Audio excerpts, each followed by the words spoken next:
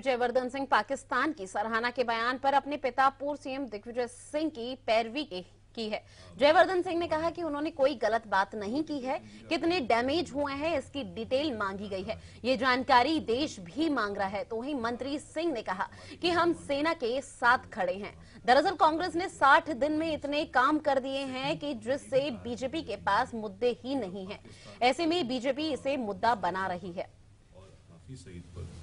ऐसे आतंकवादियों पर कार्रवाई करनी चाहिए। तो उसमें कौन सी गलत बात है? उनने ये कहा है कि उसमें डैमेज कितनी हुई है। इसकी हमको डिटेल्स दीजिए भाजपा की आदत है बातों को घुमाने की। जो दिग्विजय सिंह जी का बयान था वो मैंने सुना है। उनने सिर्फ़ इतना कहा है कि क्योंकि अ, हमारा एक हमारे एक कमांडर जो वहाँ कैप्चर हो गए थे उनको रिलीज़ किया। सेकंड उनने ये भी कहा है दिग्विजय सिंह जी ने कि अब पाकिस्तान को मसूद अजहर पर और हाफिज सईद पर ऐसे आतंकवादियों पर कार्रवाई करनी चाहिए। तो उसमें कौन सी गलत बात है? उनने ये कहा है कि उसमें डैमेज कितनी हुई है? इसकी हमको डिटेल्स दीजिए